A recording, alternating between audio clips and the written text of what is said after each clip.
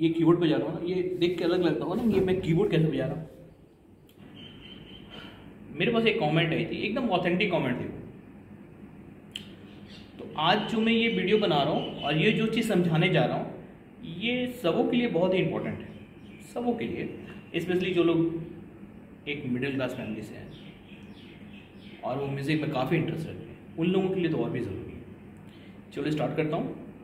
ठीक है, उसके बाद बताता हूँ मैं कीबोर्ड क्यों बजा रहा था। ठीक है रेडी चलो। आज से कुछ दिन पहले जब मुझे कोई बोलता था ना कि आप कीबोर्ड क्यों नहीं बजाते? कीबोर्ड बजाइए। और मैं उस समय सिर्फ़ शो करता था, सिर्फ़ प्रोग्राम ये स्कूल में मैं हूँ। तो मैं सिर्फ़ सूज करता था और सिर्फ़ गिटार बजाता तो लोग बोलते थे कि आप कीबोर्ड क्यों नहीं बजाते? आपको कीबोर्ड बजाना चाहिए। मैं क्या कीबोर्ड आप यकीन नहीं करोगे, मैं कीबोर्ड पे हाथ भी नहीं लगाता था मैं टच भी नहीं करता था मुझे पता है क्योंकि सेम प्रोसेस होता है। मुझे पता है नोट सारे इसके क्या होते हैं। कॉर्ड सेम कॉर्ड है अप्लाई जो मैं गिटार में करता हूँ, वो आराम से मैं कर सकता था, लेकिन मैं नहीं करता लेकिन अब मैं कीबोर्ड बजाता हूँ, अपने लिए बजाता हूँ स्कूल के लिए बजाता हूँ। कीबोर्ड की कोई ट्रेनिंग ऐसा मैं नहीं देता, ना मैं कीबोर्ड का कोई ऐसा क्लास में चलाता हूँ बट कीबोर्ड बजाता हूँ उसका रीज़न क्या हुआ? कि बहुत सारी चीज़ें मुझे करनी पड़ी। अब पूछो क्यों करनी पड़ी सर? देखो, आप में से एक कमेंट आया था कि सर, इस, अगर आप म्यूज़िक टीचर अगर हम बनना चाहते हैं तो उसके लिए क्या करना पड़ेगा और म्यूज़िक टीचर का काम क्या होता है? ये बहुत ही इंपॉर्टेंट उनका एक क्वेश्चन था आप देखो, एकदम पॉइंट टू पॉइंट समझते जाओ। आप, मान लो यंग अभी एक यंग म्यूज़िक से बहुत इंटरेस्टेड है, बहुत प्रैक्टिस करते हैं। लेकिन एक टाइम तो ऐसा आएगा कि आपको कमाना पड़ेगा। ये तो ट्रुथ है। ये बहुत सत्य तथ्य का क्योंकि अगर भूख लगी रहेगी तो संगीत नहीं होगा। आपको तो वो रास्ता अपना बनाना ही होगा कि भाई पेट चलनी चाहिए। ये ग्लैमर है इसमें, कोई डाउट नहीं। लेकिन यहाँ तक पहुँचेंगे कैसे? कैसे पहुँचेंगे? आप, आज मैं आपको वो सच बता रहा हूँ, जानते हो, मैं जब शो करता था, मैं जब प्रोग्राम करता था, उस समय जो लोग प्रोग्राम करते थे ना, आज वो लोग उसी तरह प्रोग्राम करते हैं, उसी तरह से उनका घर चलता लेकिन मैं उस लेवल को, उस स्टेज को मैं वहाँ छोड़ दिया। छोड़े हुए आज मेरे को दस, ग्यारह, बारह साल हो रहे होंगे करीब। कि नहीं। ये ज़िंदगी मैं नहीं जीऊँगा मुझे कुछ अलग करना है और मुझे कुछ अलग बनना है, चाहे जो हो। जाए तो देखो, सबसे पहले अगर आप म्यूज़िक में कुछ करना चाहते हैं, आपको ऐसा लगता है कि नहीं, म्यूज़िक में कुछ करना चाहिए। कुछ बनना चाहिए। म्यूज़िक ही करूँगा तो आपका रास्ता सही होना चाहिए। सबसे पहले जो बच्चे भी यंग हैं, जो एलेवन ट्वेल्व का एग्ज़ाम दे रहे हैं, या उनका इंटरेस्ट बहुत है स्किल है कि नहीं म्यूज़िक में तो आप एक काम करो, सबसे अच्छा उपाय ये है, सबसे पहले कि म्यूज़िक का एग्ज़ाम दो और सर्टिफिकेट लो। म्यूज़िक का एग्ज़ाम कहाँ दे सर आप जिस जगह पर रहते हो, जिस टाउन में रहते हो, वहाँ पता करो। चंडीगढ़, प्रयाग, खेड़ा वेस्टर्न यूनिवर्सिटी बहुत सारी यूनिवर्सिटी है जिसका वैल्यू ऑल ओवर इंडिया में है। ठीक है, जैसे मैं जहाँ रहता हूँ वहाँ प्रयाग है, खेड़ा है, चंडीगढ़ है, और पहले एक मांगिया हुआ करता था। तो मैं एग्ज़ाम मैं देता था। जब मैं प्रोग्राम करता था, उस समय मैं एग्ज़ाम देता था, ये सोचता था कि सर्टिफिकेट मेरे काम आएँगे। तो सबसे पहले आपके पास सर्टिफिकेट होना चाहिए, ये तो जान लो।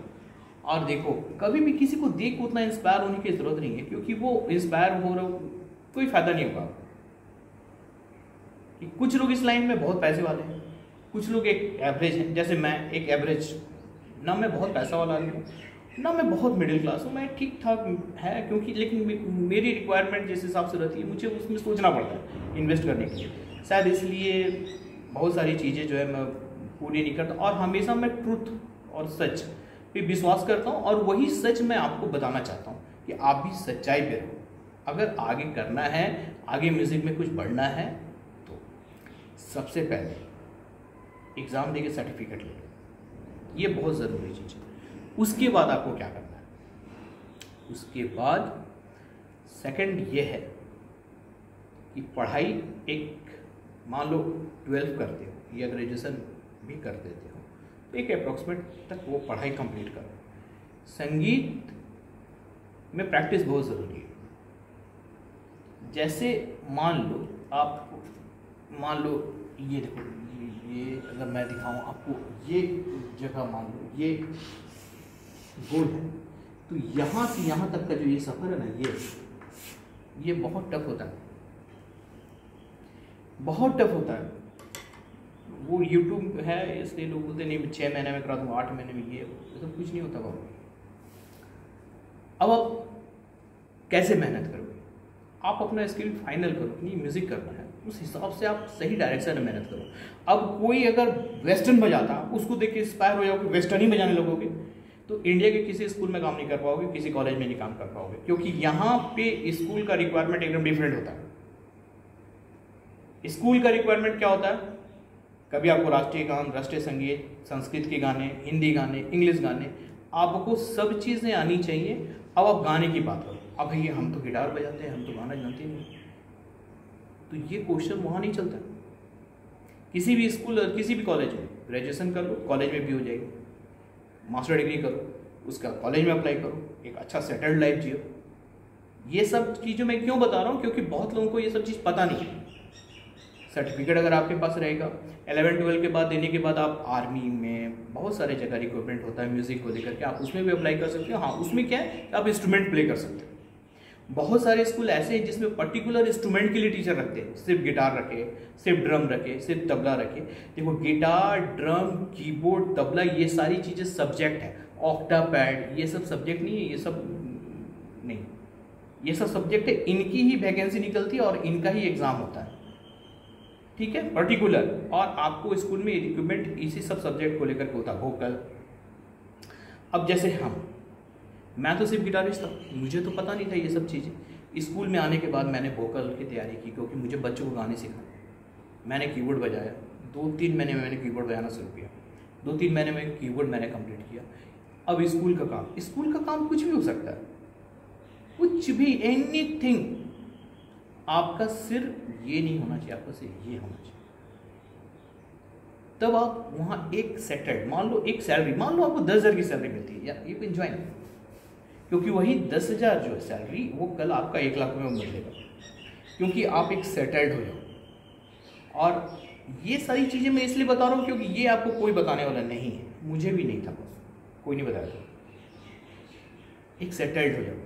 सेटल्ड होने के बाद आप म्यूज़िक को धीरे धीरे धीरे धीरे कर आप कंपोजर बनना चाहते हो। बनो वेल एंड गुड आजकल तो बहुत सारी चीज़ें हैं।